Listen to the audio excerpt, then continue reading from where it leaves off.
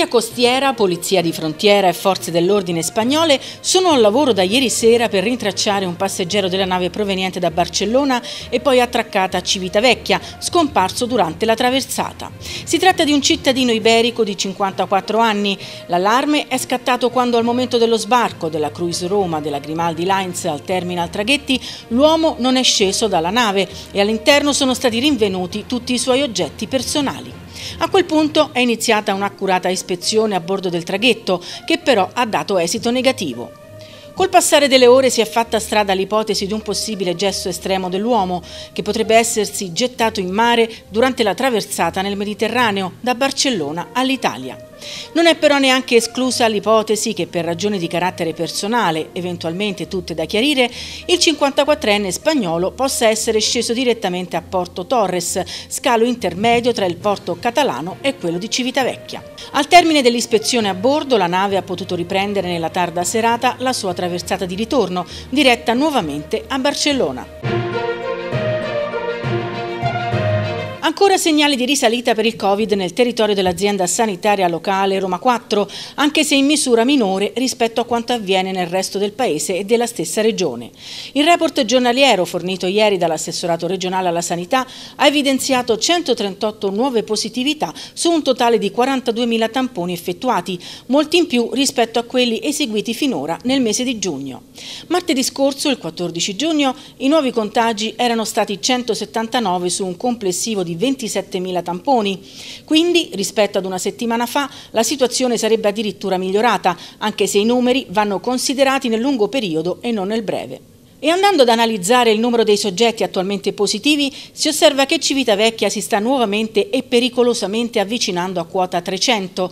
Il report di ieri parlava infatti di 289 soggetti attualmente affetti dal virus, un numero che non preoccupa ma che è comunque superiore rispetto a quello che era stato evidenziato solo una settimana fa, quando si era vicini a quota 200. Dopo quasi tre settimane di bollini verdi e livello zero di attenzione, torna il bollino giallo a Civitavecchia. Il Ministero della Sanità, tramite il Dipartimento della Protezione Civile, prevede per oggi una situazione diversa per la città con il livello 1 di attenzione, che dovrebbe essere confermata anche per domani, mentre per il fine settimana si potrebbe addirittura arrivare al bollino arancione. Il bollino giallo, previsto per oggi, contraddistingue il livello di preallerta, quello che indica condizioni meteorologiche che possono precedere il verificarsi di un'ondata di calore. Non richiede azioni immediate, ma indica che nei giorni successivi è probabile che possano verificarsi condizioni a rischio per la salute. Viene quindi consigliato di consultare ogni giorno il bollettino e di informarsi sui servizi di assistenza messi a disposizione nel territorio, di programmare con attenzione gli eventuali viaggi da effettuare e di pianificare le scorte di acqua, cibo e medicinali. Viene inoltre consigliato di identificare la stanza più fresca della casa dove trascorrere le ore più calde della giornata e di prendersi cura di parenti o vicini di casa anziani che vivono soli segnalando ai servizi sociosanitari eventuali situazioni che necessitano di un intervento. Nuovo traffico commerciale al porto di Civitavecchia. Sono iniziate ieri le operazioni di scarico del bitume che a regime dovrebbe vedere l'arrivo di due navi al mese per una movimentazione annua di poco inferiore alle 100.000 tonnellate. Non si tratta di numeri particolarmente rilevanti, ma comunque di una inversione di tendenza rispetto ad un passato recente che ha visto progressivamente scendere i livelli del traffico commerciale. Segnali di ripresa per il traffico commerciale nel porto di Civitavecchia che è il primo scalo italiano dove si scarica il bitume direttamente sui camion, senza passare da depositi dedicati. Il traffico della società Sodeco, che si avvale della CILP per le operazioni portuali, è stato inaugurato ieri alla Banchina 24. Il mercantile Iver Ambassador, proveniente dalla Turchia, è al lavoro per scaricare circa 1500 tonnellate di bitume fuso 50-70 in modalità ship to track, attraverso una tubazione collegata direttamente dalla nave al portale movibile MFR posizionato in banchina. A regime, stando a quanto affermato in un comunicato dell'autorità portuale, dovrebbe attestarsi tra le 70.000 e le 90.000 tonnellate l'anno. L'avvio dell'operazione sarà particolarmente complesso ed ha visto coinvolti, oltre ai dirigenti e ai tecnici di Molo Vespucci, anche l'Agenzia delle Dogane, la Capitaneria di Porto, il Servizio di Prevenzione e Sicurezza degli Ambienti di Lavoro dell'ASL e il Comando Provinciale dei Vigili del Fuoco, che hanno dovuto valutare la fattibilità dello scarico del bitume nel porto senza avvalersi di depositi e di un'apposita pipeline. Successivamente sarà convocata una commissione ex articolo 48 del Codice della Navigazione che con la condivisione del Ministero delle Infrastrutture e della Mobilità Sostenibili ha fornito ulteriori indicazioni al gruppo di lavoro, sulla base delle quali l'Autority ha rilasciato l'autorizzazione all'introduzione del traffico del bitume con modalità ship to track in questa prima fase il nuovo traffico prevede l'arrivo di una nave al mese. Il numero degli attracchi è destinato a raddoppiare a regime.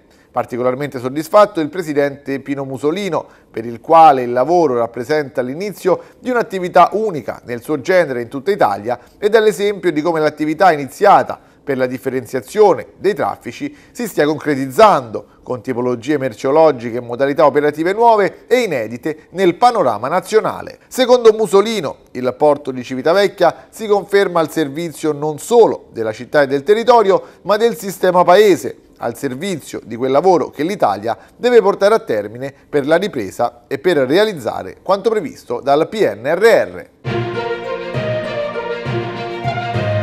È scattato questa mattina, poco dopo le 8, per oltre 600 studenti civitavecchiesi, l'appuntamento con gli esami di maturità, un appuntamento diverso rispetto agli ultimi due anni, contrassegnati purtroppo dalle restrizioni dovute alla pandemia che avevano portato all'eliminazione delle prove scritte. Invece oggi si è tornati al classico tema di italiano. Vari gli elaborati proposti ai maturandi, dalla comprensione, analisi e interpretazione di una poesia della Miriche di Giovanni Pascoli all'analisi di un testo argomentativo, la sola colpa di essere nati di Gerardo Colombo e Liliana Segre. E ancora è stato proposto un discorso pronunciato alla Camera da Giorgio Parisi, premio Nobel per la fisica 2021.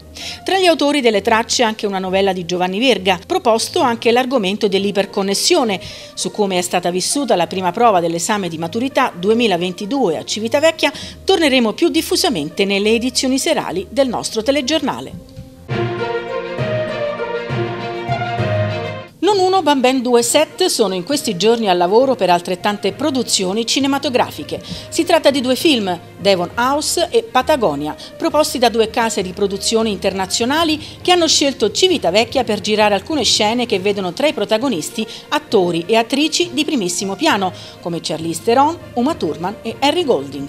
Da qualche giorno Civitavecchia è diventata la location di due produzioni internazionali che hanno scelto la nostra città per girare alcune scene dei loro film.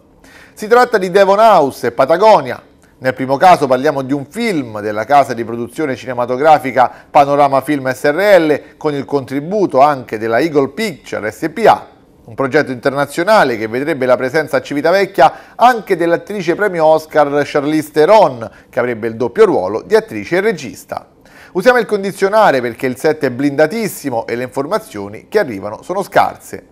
Quello che è certo è che per le riprese cinematografiche gli abitanti di Via Olimpia stanno vivendo una situazione non facile. Dal 14 giugno al 2 luglio, come confermato da un'ordinanza della polizia locale, è stata istituita la sosta vietata con rimozione in via Olimpia e in via Attilio Bandiera. In particolare la zona scelta per le riprese è quella intorno allo stadio Fattori dove ci sono due ville che sono diventate la base operativa del set cinematografico. Devon House in realtà sarebbe il nome provvisorio del seguito di The Old Guard, film d'azione uscito a luglio 2020 che è stato in cima alle classifiche di Netflix in cui la Teron interpreta Andy, un guerriero immortale che ha influenzato la storia per secoli ed è basato sulla serie di fumetti di Greg Rucka. Oltre a Charlize Theron, nel sequel sono presenti altri due famosi attori, Uma Thurman e Harry Golding, non solo via Olimpia e via Bandiera però, perché come detto c'è un altro film di cui si stanno girando alcune scene a Civitavecchia. Parliamo di Patagonia, lungometraggio della Wild Side, casa di produzione italiana famosa per la mafia uccide solo d'estate e come un gatto in tangenziale. In questo caso il set è stato allestito tra via Pierluigi Marchi e via Alfio Flores, fino alla rotatoria dell'Interporto, ma null'altro si sa sulla possibile presenza di attori famosi. Civitavecchia si conferma comunque location ideale per produzioni cinematografiche di alto livello e chissà che in questi giorni, passeggiando per la città, non ci si possa imbattere in Charlize Theron, Uma Thurman, Henry Golding o qualche altro VIP. Il periodo è quello giusto. Sono stati due giorni molto intensi per tre giovanissime ragazze della COSER convocate per il collegiale della rappresentativa regionale classe 2008 che si è tenuto al Palagalli e alla piscina comunale di Anzio agli ordini del tecnico Nicola Izzo. A dare lustro al club giallo-blu sono state Alessia Comodi Ballanti, Lucrezia Puppi e Alessandra Pirone. Le sessioni di allenamenti scremeranno il gruppo che parteciperà il 6 e il 7 luglio ad Imperia al torneo Alfredo Provenzali, ideato per ricordare lo storico radiocronista di tutto il calcio minuto per minuto e della pallanuoto italiana. Buone notizie dalla tappa di Coppa del Mondo di Budapest per Tommaso Pampinella. Il paddle surfer civitavecchiese ha conquistato la finale in entrambe le gare alle quali era iscritto, ovvero la 200 metri sprint, dove ha chiuso in quarta posizione e la technical race di un chilometro terminata all'ottavo posto. Adesso l'atleta civitavecchiese inizierà la preparazione per il campionato del mondo, previsto per settembre in Polonia. Prima di salutarvi vi ricordiamo di seguirci anche sui nostri canali social Facebook, YouTube, oltre che sul nostro sito www.trcgiornale.it.